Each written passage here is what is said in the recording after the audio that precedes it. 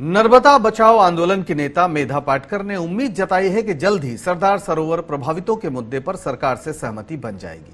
उन्होंने बताया कि नर्मदा घाटी विकास प्राधिकरण के सदस्य सुकलीकर की अध्यक्षता में गठित समिति 20 दिसंबर तक सरदार सरोवर जलस्तर पर रिपोर्ट जारी करेगी। इसके अलावा अन्य कई मुद्दों पर लिखित सहमति हो चुकी है।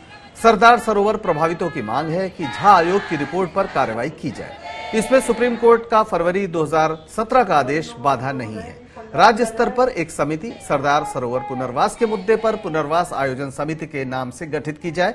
मेधा पाटकर ने उम्मीद जताई है कि एनवीडीए मिनिस्टर और मुख्यमंत्री कमलनाथ के भोपाल आने पर सभी मुद्दों पर सहमति बनने और सरदार सरोवर प्रभावितों का धर्मना खत्म होने की उम्मीद है।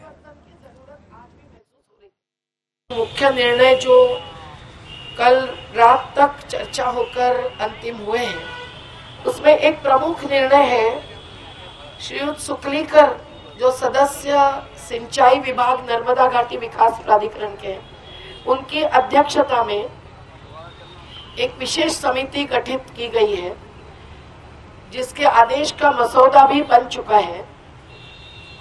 ये समिति अब लेवल्स को पुनरीक्षित करेगी।